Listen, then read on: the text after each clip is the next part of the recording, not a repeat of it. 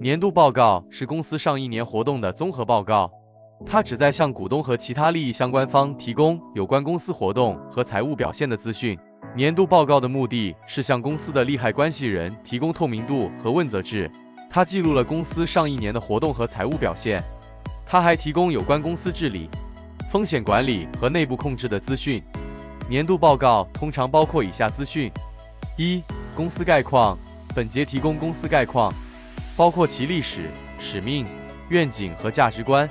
二、管理阶层讨论与分析 （MDA），本节对公司上一年的绩效进行分析，它包括对公司营运、财务状况和营运结果的讨论。三、财务报表，本节包括公司的资产负债表、利润表。现金流量表和财务报表附注。年度报告是公司上一年活动的综合报告。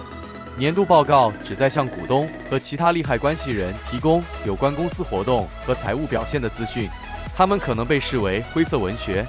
大多数司法管辖区要求公司准备和揭露年度报告，并且许多司法管辖区要求向公司注册处提交年度报告。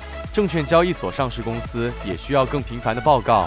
取决于相关证券交易所的规则，大多数司法管辖区要求公司准备和揭露年度报告，并且许多司法管辖区要求向公司注册处提交年度报告。证券交易所上市公司也需要更频繁的报告，取决于相关证券交易所的规则。然而，报告的频率因国家和证券交易所的不同而不同。年度报告是公司上一年活动的综合报告。年度报告旨在向股东和其他利害关系人提供有关公司活动和财务表现的资讯，他们可能被视为灰色文学。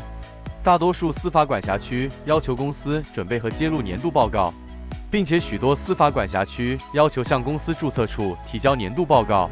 证券交易所上市公司也需要更频繁的报告，取决于相关证券交易所的规则。